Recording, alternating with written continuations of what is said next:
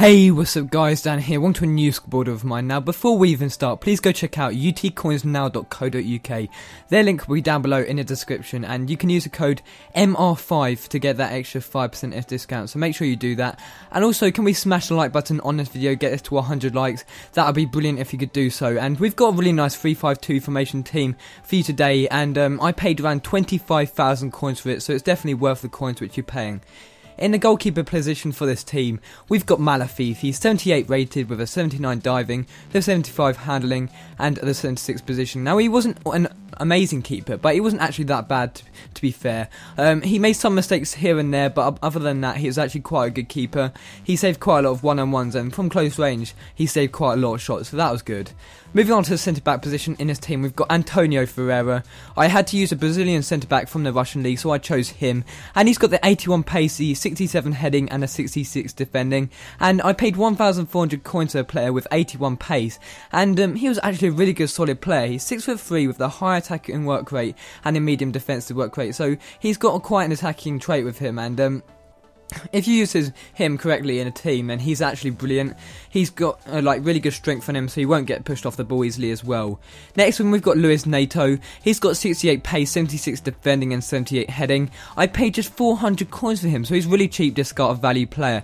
And um, he's not bad either. He's six foot two, so he's quite tall. Wins a few headers here and there, and he's also quite strong as well. So these two centre backs are absolutely brilliant. And then finally, in this last position, in a centre back position, we've got David Luiz, one of the most overpowered centre backs, if not the best and most overpowered centre back in the game. He's 82 rated. He's such an at- attacking player as well as Antonio Ferreira, and um, he's got the 77 pace, the 72 dribbling, and the 80 heading. And uh, I paid 5,600 coins for him, and he's definitely worth those coins.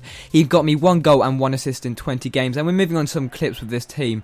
And um, first off, it's a great block off the line with from David Luiz, uh, blocking David Luiz's header as well, actually. And um, another clip right here, the ball gets played in, and this is what I mean by close range shots. It's a great save from Malafeev, and it was actually Ibrahimovic who had that shot, and it's a great save in the end. Um, I was a bit sloppy right here, letting Sturridge get through, but Antonio Ferreira with an amazing block to stop, stop him from scoring actually. And um, Another clip right here, um, Alexandre Pato, and this is a great save. Look at that, it's just going over his head right into the net, and it's an absolutely amazing save. And look at this for attacking positioning, like from David Luiz right here. He does score in the end, but just to be that far up the pitch with a centre back isn't amazing. But um, I, I wasn't too disappointed because I did score. But now we can move on to the midfield in this team.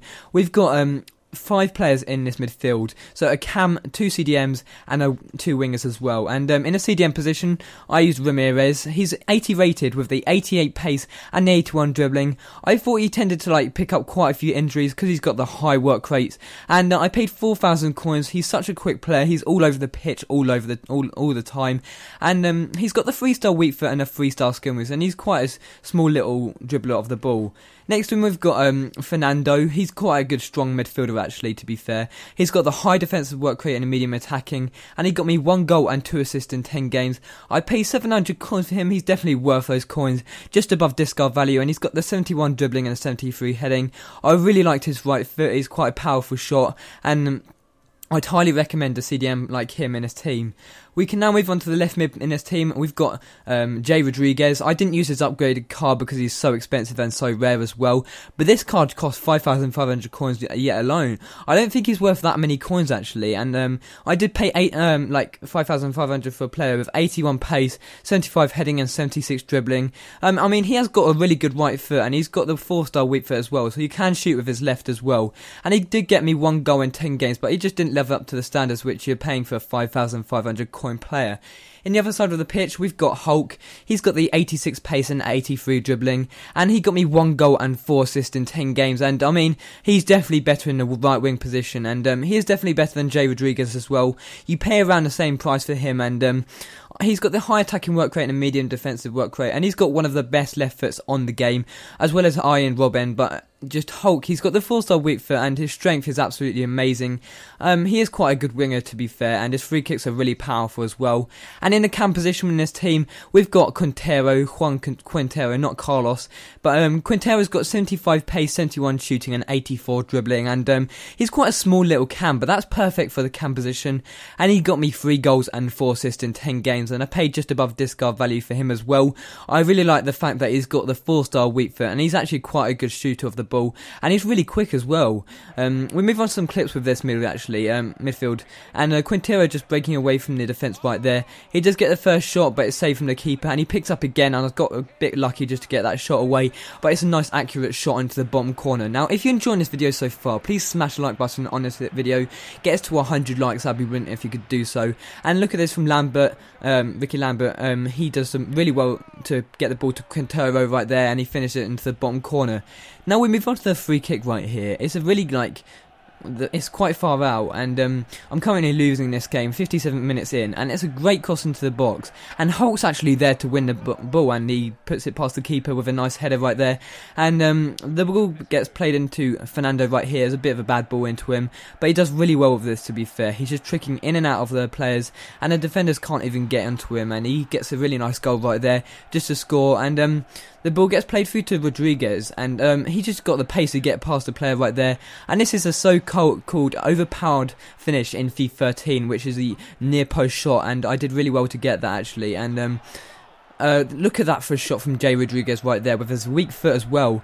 And um, this is one of my best goals with the midfield, actually, to be fair. Ramires just dancing in and out all of the players and he uses his weak foot to get that past the keeper right there.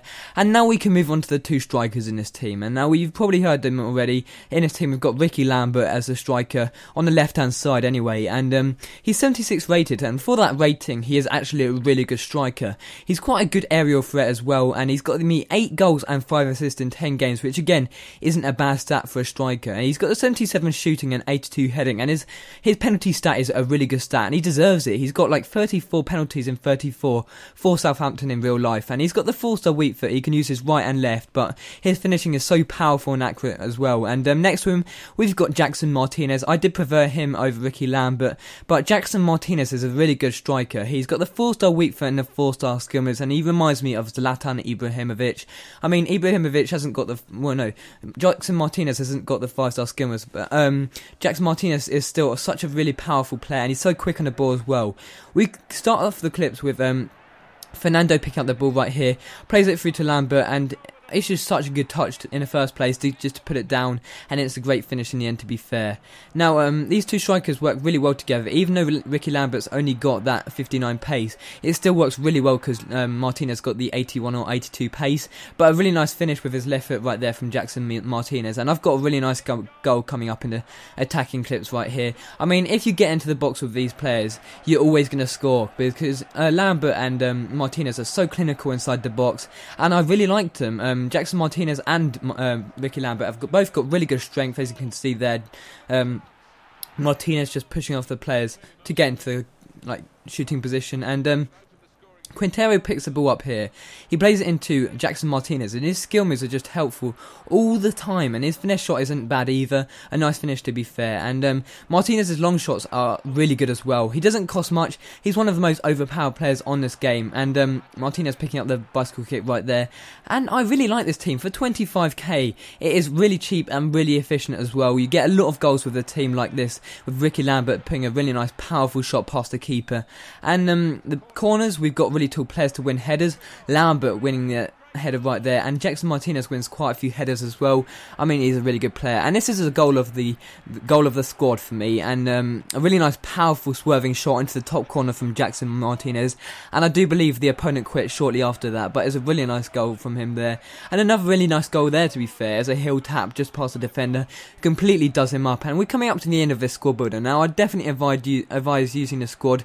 I mean, if you want to pay a few extra coins, you could get the upgraded or even informed Jay Rodriguez But Jay Rodriguez is in form is like 400,000 coins or 300,000 coins, so it's not worth that many coins. But um, again, we're coming up to the last like clip right there. Jackson Martinez getting a really nice finish, and that is the end of this squad. So if you haven't already, please go check out UT Coins now.